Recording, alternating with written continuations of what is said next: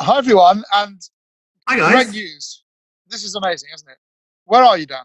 I'm back in the church. I, I, I mean, this is amazing. It's still lockdown, but I'm back in the church. You're you're a lockdown breaker.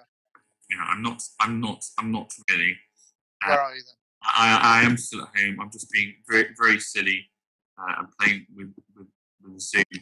Um, this is Oh, disappointing. Disappointing. So I thought I believed you for a while. This, What are we talking about today then? this is a top ten. We don't. I know there are lots of there are lots of channels who do top tens all the time. I think it's been about a year since we've done a top ten. Is it? God. I- uh, So uh, in fact, we've we've, what we've done is 12, 12 months since we've done our top ten. Yeah. We like to, we prefer to do a top twelve anyway, so that's So that makes good sense. like to do them all the time, and it becomes it can become a bit of a lazy format. But we thought it'd be quite Yeah. Especially as this is a a category which we really enjoy. I was really tempted to title this "Top Ten Sexiest Fragrances" because that's basically what I think. Quite literally, isn't it? But then we would get trolled by people that said we didn't mention Bleu de Chanel and and Aventus. Yeah. Um, Masterpieces. top ten animalic fragrances. So what are we talking about when we say animalic? Um, tigers, lions, bears, giraffes. Know, we've got there's a lot of giraffe in this selection. Yeah, it's an underused note. I mean, I, I guess it, it's a big, it's a big, wide topic, isn't it? But basically, it comes down to certain notes, certain ingredients that are either derived from animal sources or to give synthetic impressions of of various things, musks and ambergris, etc. So I guess you've got you, yeah, you've got a kind of a, a few main ones. If we start with two, um, which are, which are reasonably common, um, which occur uh, without any animal harm, if you like. So they're, they're things being secreted from an animal. So one big one is ambergris, Yeah, excreted by by a sperm whale. It then bobs around in the sea for a long time. It Starts off quite dark and eventually gets lighter until it's been aged by the sea. Um, and it adds this uh, incredible kind of slightly salty, slightly sweet, slightly dry, warm, rich amazingness. And it's been, you know, it's been used for a very, very, and very it's yeah, it's really clever how it's done because when you smell the raw product, you'd never guess how you can integrate that into a perfume and make a masterpiece. and it can do an, an amazing things. So the, the other one in the category of ambergris is is hyraceum or African stone, as it's often uh, um, uh, referred to, I guess, which is a, a hyrax pisses on a stone and then that's collected. So no harm. Yeah. And then And think again, it sits out in the sun cooking like ambergris. exactly, So it's very, essentially just cookery. very, very kind of similar thing. Um, then you've got this other category of ingredients which aren't used in large scale perfumery anymore. So we're kind of talking about your your musk, your uh, civet, your castoreum, uh, things like that, which which are um, harming animals in order in order uh, to be used. So it's it's impossible for them to be used in large scale perfumery. So lots of fragrances, big designer fragrances, which at one stage did use um, real musk, um, and real civet no longer do because it's impossible to, to get it on a large scale. So there are Yeah, lists uh, some real some fragrances real civet real musk um, and real uh, castoreum.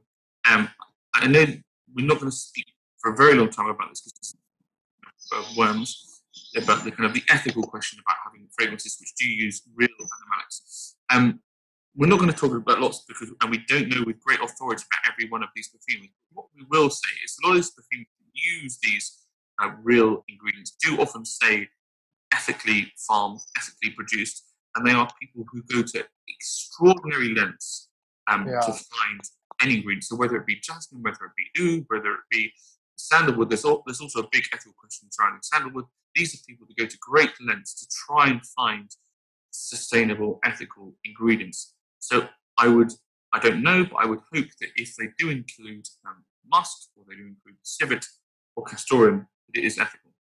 Anyway, yeah, absolutely. let's get stuck in. This is in order. 10 to 1. Ten to one. Yeah, uh, just before lunch. Um, so yeah, I mean, we've got it's it's not really uh, it's not really a list of the, like we always say the top ten animalic fragrances in the world. It's just what we own and what we enjoy. So forgive us for repeating ourselves, I guess. So kick us off with number ten. Number 10 is um, the very wonderful Dzing from L'Artisan. Um, this is, as an animalic, it's very interesting because it's just the faintest little hint of, of a musk in the base with a leather a- accord, which gives it almost a slight elephant dung aspect. But it's meant to mimic being in a circus. Yeah, you just got that, Um, that little like circus entertainer on the front. Yeah, you got like a little tiger being ridden by a little lady. Um, so I mean, they look like they're having fun. you did So promise us tigers. You promised us tigers. Yeah. so Absolutely. Have you been watching that Tiger program, by the way? No, haven't. No, no.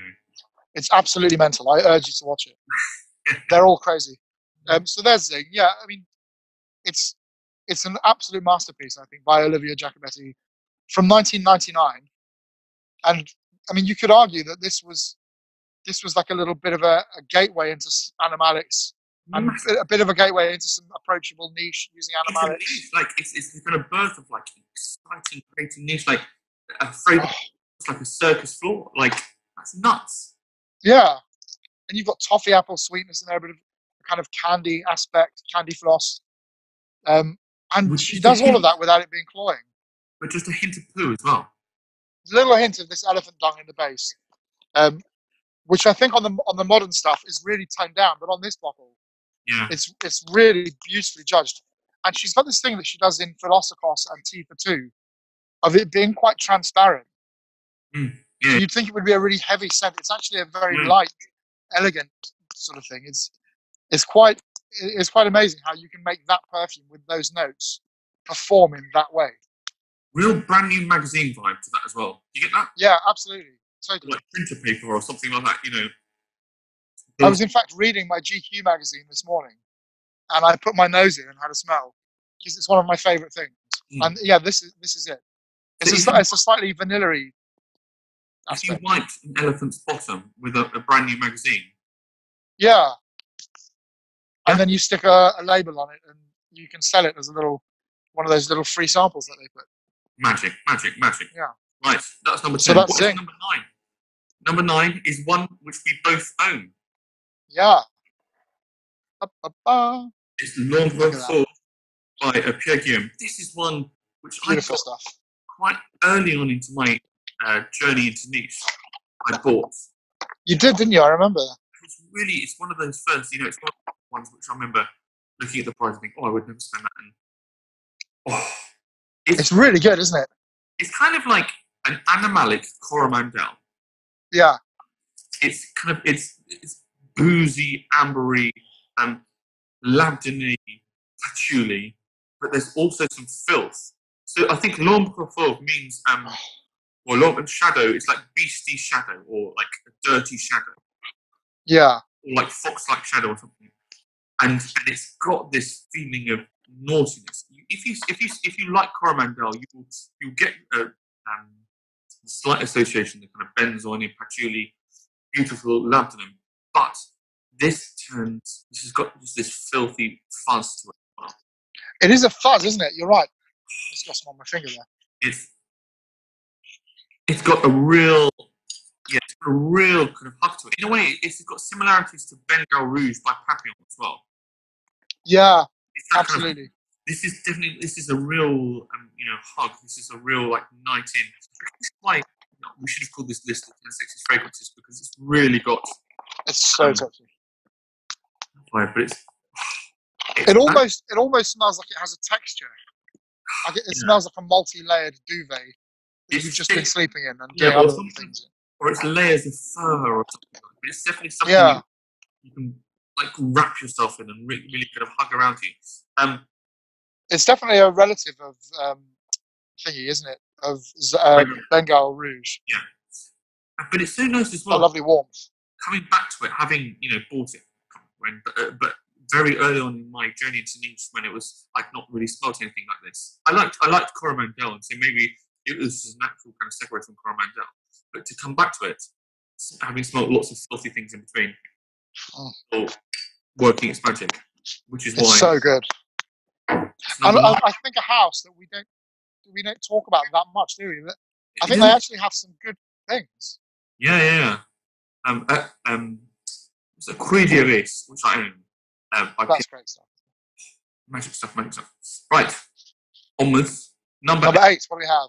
Number eight. Now, this is a, quite a new purchase. This is Civet Look at that. Uh, Chypre by um, Meleg, I think. Meleg. It now comes in a new bottle. This one I got, um, I think I only got it at Christmas, but it's, it's a very young house, uh, very kind of small uh, indie kind of scale perfumer that is uh, just, I think he's still just selling on Etsy. Um, Is he based in Canada or somewhere? No. I can't remember if it's North America or Canada. I'm really sorry. I'm really sorry if I think. But somewhere over somewhere over the yeah, it's the other the other side of the Atlantic. But this is somebody who does use um, uh, Civet. I know he's got lots of documents uh, relating to the ethical production of Civet. I'm not going to go into uh, the Civet he's used. I'm not going to talk about loads. Let's just talk about what it smells. It smells. this has probably been maturing in the bottle as well since I smelt it last. Yeah. So we've done we've done a review of this. I might post it. Yeah. you below, but I wore it to remind myself a couple of days ago, and. That's good stuff, isn't it? It, it's the kind of thing that if you picked up a like seventy year old bottle of perfume and you thought, "Oh, I hope it still smells amazing," this is what it would smell like. Yeah. And as we said in the video, what it does not smell like is someone selling on Etsy who's just bought some expensive ingredients and mashed them together. It doesn't smell like that. It's extraordinarily elegant, and it feels like this old school, rich sheep brown. Again, actually, this is a, it's a relationship to Bengal Rouge. I mean, maybe not surprising because we're doing an animalic list that it's similar to Fauve, and then it feels it's got a big hug. It's not sharp, which sometimes synthetic civet comes across as sharp. Like, Yeah. Even in Mouchoir de Monsieur, which I adore, it, it it feels there's a slight sharpness to the civet there.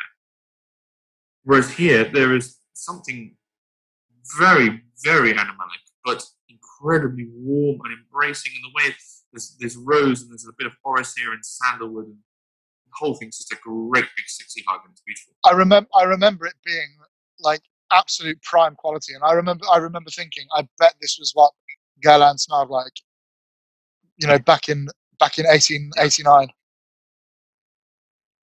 Yeah. absolutely wonderful. I need to check out the, the rest of his house because there are so many perfumes I'm interested in Yeah, by, by him there's a there's a sort of peachy oak moss thing yeah, Mitsuko There- is. A there's a there's a great sort of spice woody spicy shaving thing yeah, there's a big nod to the past. yeah great stuff Seven. So number seven Um, is Oh, were you still ch- were you still on? Did I steamroller in there? Ah, look at that. This is Under My Skin by Francesca um, Bianchi. We love her as well, don't we? It's impossible, or it's, it's very difficult when doing an animalic list not to have a lot of fragrances which look to the past, because that's when, you know, lots of these animalic ingredients. And I think as well, the thing I, will just say, parts, we've talked about this on our channel before, but I think part of my love of old fashion fragrances and animalic fragrances is having grown up being a teenager in the 90s, or kind of like you know, becoming a teenager in the 90s, at the time of Acqua di Gio and L'Eau d'Issey, when everything was aquatic, aquatic and, and clean and calony, watermelony. I want I I wanted something which isn't like that, which is dirty and rich and Yeah. complicated and mature, and, and then that's what this is. I mean, under my It's absolutely heavenly stuff. so I think I mean I this has got some musk, castoreum, and I think some ambergris. I don't. I imagine they're probably all synthetic, but it's just magical. And this is one of those fragrances that when you first, even from first spray, it feels like you're you're you're smelling it off of somebody's skin. Yeah, It feels like absolutely. it's taking on the kind of warmth of their body, and almost as if like somebody sprayed a few different fragrances maybe, and they've spent the whole day walking around in the sun, and it's kind of mingled with their Humanalic. I've made a new word. humanalic. Yeah, That's what it is. yeah. I guess uh, anim- animalic sounds negative because it sounds like a dirty badger, but but, an- but humanic, I think This is a very a very clean but very furry badger. And there's, there's a kind of sweetness which kind of really segues. There's a kind of honeyed aspect which really kind of segues between that animalic or sorry, humanalic. We're saying now humanalic warmth. Bit of aura which you use. I, rem- I remember it being quite having a like a slight sherbety thing as well. Sherbet's not the right word, but I like a, a sort of powdery quality. Yeah, yeah, definitely a kind of powdery. Yeah. Oh, sort of opulence. absolutely addictive, beautiful, magical stuff. I mean, all of her fragrances are very humanalic. Yeah. Dark Night. Uh, uh, what have you got under my skin? Lover's Tale. Sex on the sea, not sex on the beach. Sex on the sea. Sex on the Sea. Yeah. And there's a Neroli edition of that, which I really enjoyed. Yeah. But they're all She's great. there. She's done a leather recently, which I really want to smell, but I don't. I don't think it's around No. anymore, is it? Yeah. Queer Soya or something. Wonderful, wonderful house. Right, right. Next, So next, uh, natural, an all natural fragrance. An all natural fragrance by Anna Zworykina. I've talked about this before, but you know, I have a, I have a very small collection of things, and this is this is one of my favorites. So it's a tiny little bottle because this is how they come in. Well, in the shop I bought it, eight mil, um, and it, ha- it has this amazing, beautiful, like bright opening of bergamot and sort of smoky, like a sort of really smoky lapsang souchong tea. But then it gets this sort of filthy leather, and it's it's real castoreum in here. It's real civet. You've got labdanum, which just gives it a, a really enveloping, hugging sort of feel. It's, I mean, it's really dirty. Again, a very humanalic kind of smell. Know. It's really dirty. Can you give me a little it's- spray? A little spray, just There you go. fucking. Yeah. I'm not gonna actually. I'm not gonna spray it because it's so expensive. But it, I mean, yeah, this little bottle is about sixty pounds, and it's eight mil. So you know, a fifty mil of this would cost you a lot. But it's so good, and it's you know, it's an eau de parfum. Um, but again, she's done a few things which I really love. but we're talking about you know the credibility is something in a style of fragrance which has been around for a long, long time. Yeah, it's a genre in itself, isn't it? Started by Chanel, probably. Is, you know, I know, but there's a Guerlain one as well, isn't there? So I don't know if the Guerlain one. There is a get. Um, Um, and it's I mean it's interesting because it's it's obviously it's obviously been tried by a few a few other houses over the years, and I think they all get away from the origins, which are meant to be slightly uncomfortable. yeah, It's it's meant to be like you know hard worn leather in freezing cold snow. Castoreum, Um, Castoreum does create this level. I've got some kind of uh, just it's Castoreum and sandalwood little uh, uh, uh, and it's almost. I mean, I can't quite wear it on. It's, it's so intense, but yeah, Castoreum does give this extraordinary boozy leather kind of quality, and we yeah, we've smoked some Castoreum, some dried Castoreum pods, and it's this, Mm. which you know kind of untinctured just the pods themselves, and they do create this amazing leathery boozy addictive. You get it in Yatagan as well. Yeah. Oh, it's fantastic. all about for that for, this list, but I think I mean I think these these perfumes, some of them are not easy to wear by any means, but uh, that takes you to another question of are all perfumes meant to be easygoing things that you can just throw on and go out and about to work? I mean, well, we Well- can't do that at the moment anyway. No. Um, but Well- you know, they're, they're works of art in themselves, and that thing, if that thing paints a landscape maybe of of a different time Mm. When things were tough, then you know I'm all for it. absolutely. I've not I've not worn it very often, but I will. Number five. Number five. What do we have for number five? Uh, no, no, number five. I don't have my bottle on, which is annoying. I think I've left it in Gloucester. Um, but Salome, Dan's going to work his magic, aren't you? yeah, but, but this is one. Even though Joe doesn't have his bottle to show, we really wanted to to, to include. We mentioned Yeah, it's a real masterpiece. already. We've mentioned Bengal Rouge a couple of times, and we could have included that, but we decided we only wanted to have one fragrance um, per house, and we thought if you're only going to have one animalic fragrance for papillons, it's the be Yeah. Oh, I think we described in our, in our, our video that Bengal Rouge is really cuddly sexy, whereas um, Salome is sit on my face sexy. It's kind of yeah, totally. it's really raunch. And in fact, I don't know if this is I don't know if this is even possible, but I'm going to send Dan later on a clip that this perfume reminds me of, and it's in Salome. It's a production of Salome, um, but it's a particular moment and it's a particular chord, and that's that perfume to me. I think I know the one. I think I know the one you mean. Yeah, You played to me before, haven't you? I have. have yes, exactly. This is the opera by Richard Strauss. Um, Oh, and it's it's just chaos and dirty funk and vintage opulence all at the same time. and it must be like I, I think there's a slight relation to kind of vintage opium by Yves Saint Laurent, isn't there? But there's Yeah, there's there's hyrax in this, there's African stone, and it's it's one that I feel you know when I, I've tested it a few times and I've had some samples, and I just I love it, and I just think just don't know if I can quite wear it because I think it's just a it's a little bit too much for me. Then I should just and that's coming from you. I know. You like the big and the big and punchy Yeah. things. I feel the same, but it's but it's it's it's a sort of experience. You you wear it as an experience, like a, you wear I a mean, day you behind the Concorde cockpit or something. Yeah, absolutely, but magical stuff from a wonderful, wonderful, wonderful house. Um, yeah, Number four, another I'm excited about this. another magical house, uh, and one of my, you know, one of my favorite fragrances from one of my favorite houses. This is Siberia um, Part Two from Areej le Dore. So this is real uh, musk, Siberian musk, and yeah, I think I'm torn between this, Ottoman Empire, and Russian Oud as my favorites from this house. But this is just okay. it's- it's just- This is kind of head and shoulders above pretty much everything that's being put out there today. I think, isn't it? Just in terms of boldness. It just is ama- I mean, it just is this piney, musky masterpiece. There's a, this explosion of kind of bright bergamot at the beginning, but it just feels. And when, I, when I've described before, it feels what I imagine if you went kind of skiing through a Siberian forest on a crystal clear day, bright, bright, bright sun, everything covered in snow. There are all these pine trees, and there are deer racing through the woods, which you're kind of chasing after. That's what it smells, and it's just Oh, it's just amazing. It really is. It's so, it's just such an exciting fragrance. Yeah, it really is wonderful, isn't it?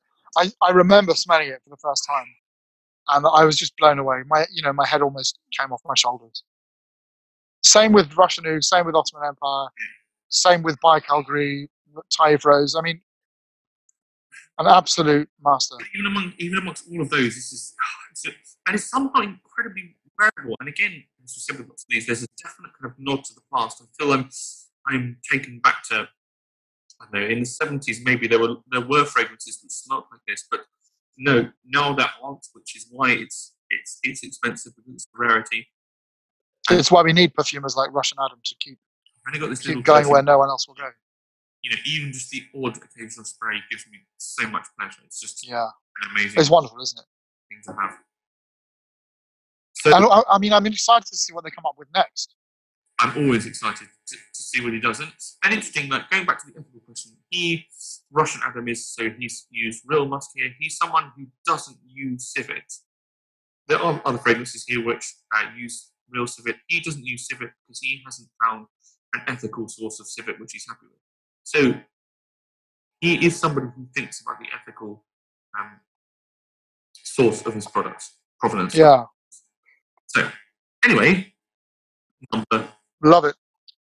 So number three, um, number three, we have briefly mentioned, haven't we? Um, not today, in the past. MAAI, um, by Bogue Bogue Ogre. from from uh, Milan. Now this thing is by Antonio, yeah, Antonio Gardoni, wonderful man, architect, perfumer, all-round genius. And this thing smells like I mentioned on my collection video the other day. It smells like a real old.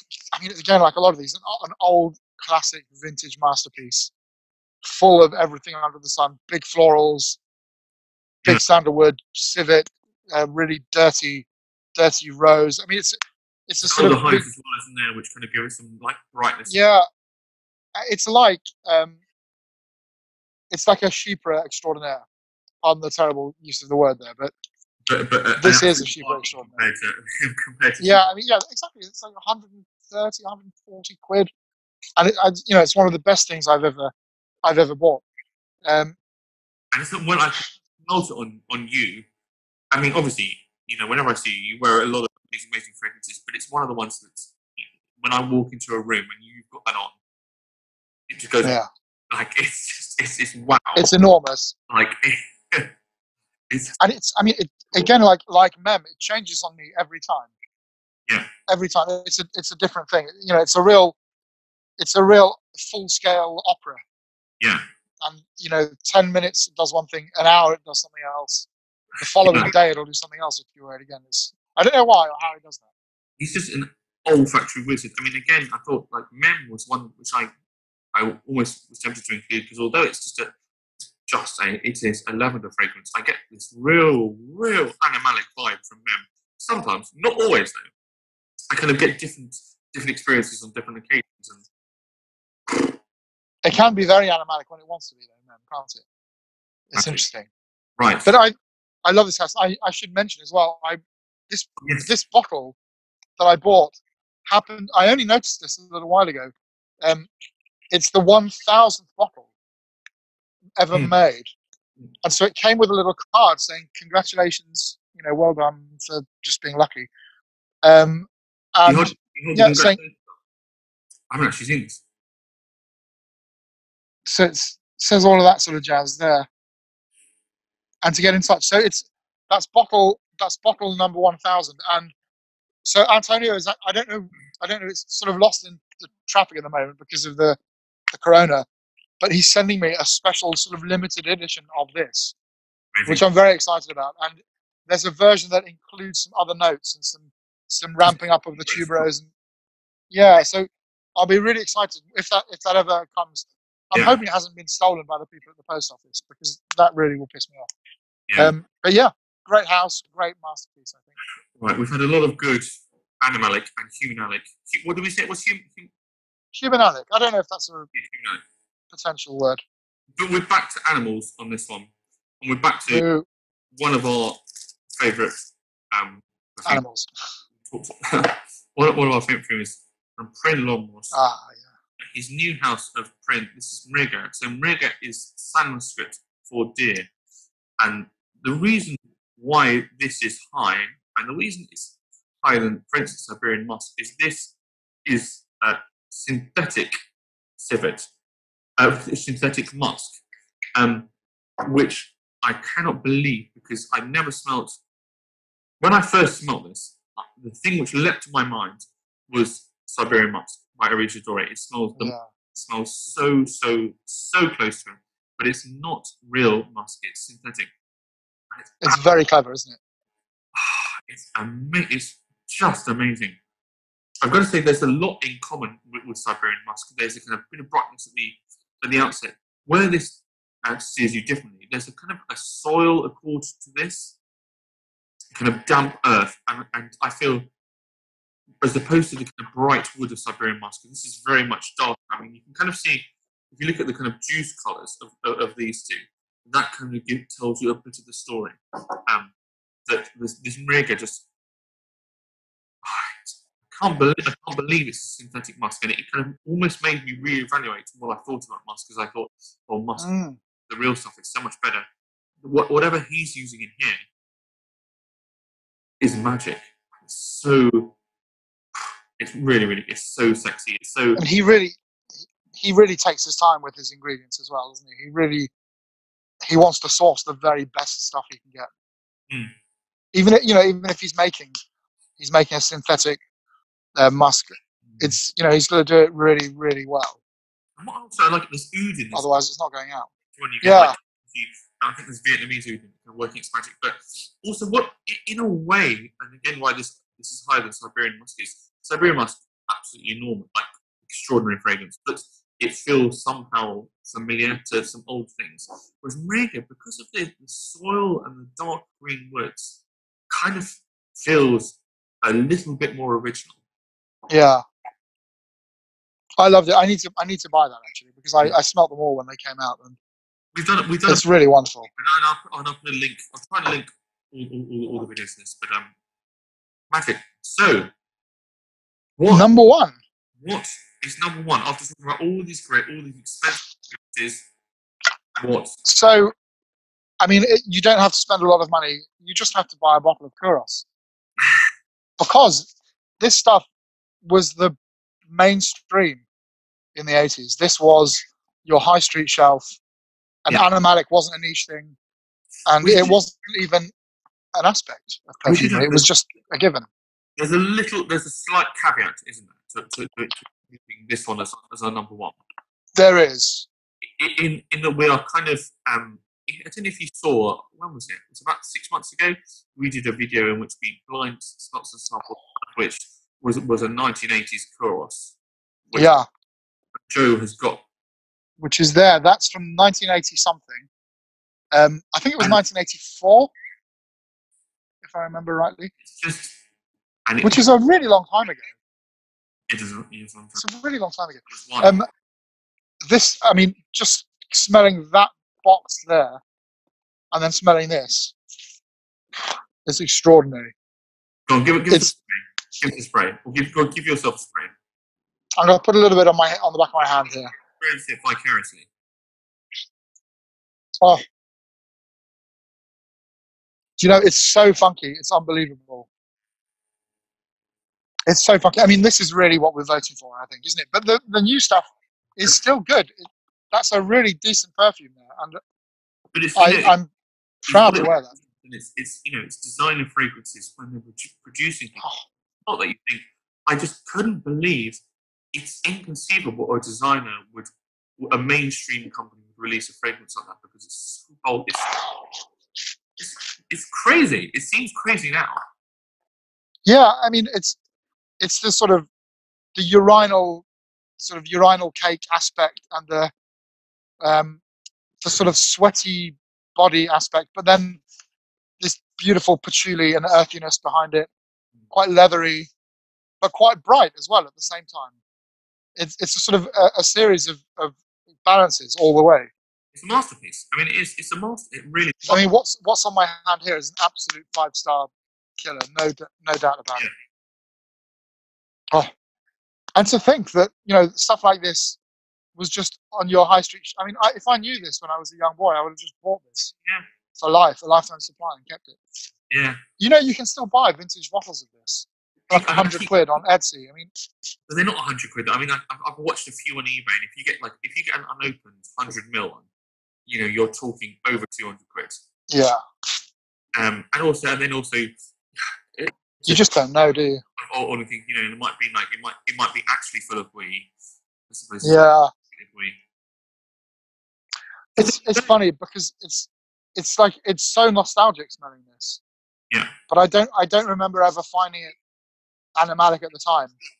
No, I just lo- I loved it, which makes me think that actually these animalic notes were were so mainstream that they didn't shock us. We just It's- loved the perfume for the perfume. period of the kind of like 90s, noughties when everything became bland and aquatic and dull.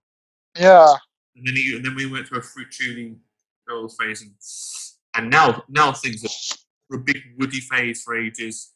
Hopefully, yeah. like these uh, Corona times will be the you know the dawning of a new animalic era, Something will something will change. humanalic era. That's not going to be very popular. Those are our top ten. So we've got. Yeah, we we've got a nice it was list there. really it was really difficult to do this list. We've got a few um, honourable mentions. Do you want to go first with your honourable mentions? Yeah, I mean, this little bad boy here, Hyrax, which we talked about before. Yeah. And you know, th- I mean, this this could easily be. I know it sounds like such an American cliche. This could easily be number one on anyone's list. but I mean, it's it's a real masterpiece again. And Mm. just looking at the, the animalic stuff you've got in here, you've got the African stone. So you've got that you've got that going on. You've got styrax, which which gives it a, a gluey, leathery thing. Yeah. You've got musks again in the base. So there's a there's a lot going on here, and then you've got you've got blackberries and peppers and fruits, amber, benzoin, tonka sandalwood, whiskey. I mean, there's a, there's a lot going on in here, Amazing. and yeah, I love it. And I, you know, it was hard to find a place to put this, but I think I think it's a great, bold, cutting edge approach to animalics and perfumery. in a, um, a house with a name like zoologist, a lot, a lot of fragrances aren't actually that animalic, but that is the most animalic. That probably is the most animalic, possibly camel or something like that as well. That has a slight fecal aspect. it's not quite the same big as. I mean, yeah, that knocks your socks off a little bit. also, we've put Hyrax in. It's been in quite a few of our lists, isn't it? So we thought, Yeah, that was in one of my summer lists because when I was feeling mental. right, what else have we got? Um, also, Musk Khabib by Bortnikoff, which um, there it is in its little pouch, Um. And it's it's lovely. And yeah, it's it's really the ambergris and the deer musk in the in the base of this one. Um, that's really beautiful. And you've got you've got a kind of a lovely vanilla sweetness, but also a really bright, beautiful citric opening as well. Brings to mind Jicky and that and that sort of world to me a little bit. exactly what I was going to say. It's got that real classic old school now, hasn't it? Yeah, I love it. I think it's really beautiful stuff. And it's, it's the only Bortnikoff I have, but I'm, I'm gonna get I'm gonna get more and some soon. I hope. Good. And you had a kind of you had a, a, cheapie which you, you uh, Yeah, a little cheapy, which I think we've sort of discussed a little bit with MAAI and Salome, but Scent by Theo Fennell. Um, and I don't know if you can see it, but that is the price. And I mean, it's really great. It's it's like a really dirty rose. The opening is a little bit rough, but not for very long. And in fact, this is a five star from Luca Turin. Um, it's it's a dirty floral. Um, amazing. bit of saffron cumin going on again, which gives it that slight BO thing, but then beautifully balanced by the rose. I love it. I think it's great. And for seven ninety nine, I think it's a steal. winner. Right. Um, I've got um few. This is one I was so close to putting in. And it's one in a way it's weird that we haven't talked about this more. Ambra Aurea by um, Ah, yeah, it's one of my very, very uh, favourite fragrances. genius. So obviously animalics, but this is just it's all about amber. I know I, I would say this is definitely my favourite amber fragrance ever. And whenever I get into kind of online discussions about this, people say, "Oh, uh, you know, about the best amber fragrance ever." People say, "Oh, I don't like it. It's got this kind of dry, salty, dry down." And I said, "Well, that's because it's got real ambergris, which just it just makes this magic happen." Yeah, it's absolutely beautiful that saltiness. I think. So amazing. It's also probably the longest lasting thing I've ever smelled in my life. Like, Yeah. like days and days and days, and it's just it's just labdanum and ambergris, and oh, what is not to love? And it's so sticky as resinous as well. You, you just you know that you're wearing a perfume of the highest concentration, Absolutely. and uh, you know quite linear in a way, but actually the ingredients you- that you get are so fantastic yeah. that it just it goes and goes and goes. as with all Primavera. Another one which is, um, you know, crazy good. Uh, Crime and punishment. one. We've recently done a video on this, and and you could you, could easily say, well, this is a much higher quality fragrance. than Some of the ones that we put on the list, and yeah, maybe so. And it's you know musk ambergris, uh, the most expensive ingredients in the world, It is amazing. I think it's just one of those things that I haven't lived with it. The ten on these lists are ones we've really lived with and loved and experienced, and they are our ten favorite, ten favorites. Not necessarily the best in the world. So this make the list this time, but I'm sure it will in the future. And then Oh, uh, absolutely. Joe mentioned as well a Bortnikoff. I've got a Bortnikoff. Sir Winston, uh, Ah, yeah. a, a, a tobacco tuberose um, uh, fragrance, which doesn't smell very much like I would imagine Winston Churchill to smell at all. As I worn it more and more and more, I found that it's just an absolute ambergris bomb. At the very end of the dry down, it just becomes this salty, dry, uh, kind of slightly sweet, sweet, kind of thick, amazing stuff. And and it's amazing how it kind of transforms. It's such an interesting, interesting fragrance. I think the problem, in a way, it's kind of bad marketing because it's not. You think of Sir Winston, you think it's going to smell like cigars and brandy, and it's going to be dry and leathery and serious. It's not that. It's sweet and and in kind of enveloping, treacly, sexy, beautiful. It's great stuff, though, isn't it? I remember loving it when I smelled it. So those are our t- top ten animalic stroke humanalic. Um, they are just our ten favorite, and I'm sure there are yeah, which we haven't included, and we love trying them. So if you've got some which we are obviously missing and you want us to try, or you don't want us to try, but you think we should try, let Yeah. Hit us up. That's amazing. Um, of course. Yeah. What's the reason why it's number one? Absolutely love it. So, Well, until next time, bye. be sniffing.